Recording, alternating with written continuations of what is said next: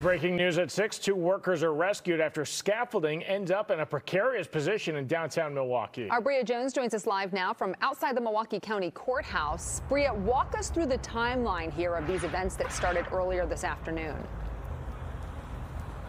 Well, Steph, uh, Fire Chief Aaron Lipski, he says that the two workers that were inside of that basket on the scaffold, he says that they were suspended in the air for about 30 minutes. So thankfully, no one was hurt. Fire Chief Aaron Lipski says that is the best possible outcome to this story. Now, again, I want you to take a look behind me. That scaffold, you can see it's still hanging at an angle.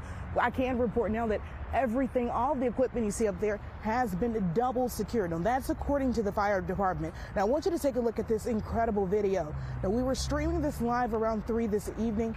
Now, we are told again, all the equipment has now been double secured Milwaukee Fire's heavy urban fire team did respond, but they found two trapped individuals. They were eventually able to lower a radio to have direct contact with them. And MFD also says they were able to actually bring up a Spanish speaking firefighter to help bridge the language barrier. Now, again, the workers that were inside of that basket, they were removed by their co-workers, we're told. They were safely removed. They have zero injuries. Now, again, the crew here, the crew appears to be working with Berglund Construction. I did contact them this afternoon. They told me they had no comment at this time. Now, we know, at least from the sheriff's office, as well as fire department that the crew here they were working on a con construction a courthouse facade restoration project. The building you see here again built in the 1920s we're told that this was actually phase three of that project. Now chief lipski he says that his crew they were ready in position to actually go down and to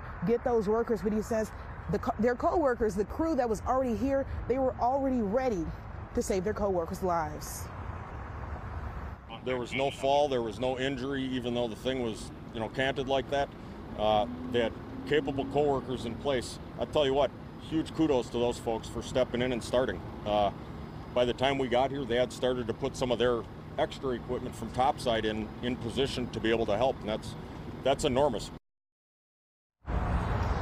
Now, I'm going to read part of a statement that we got from County Executive David Crowley. He says, in part, I'm grateful for the swift action from our first responders in rescuing the individuals, and I'm pleased that no injuries occurred during this situation. The cause of this incident will be fully investigated before any work resumes. Now, again, right now we have the sheriff's office out here. They are securing this area. They're blocking it off for the night just to make sure that everyone is safe here. Now reporting live downtown, Bria Jones, Fox 6 News. Well, I no one was hurt there. All right, Bria, thanks.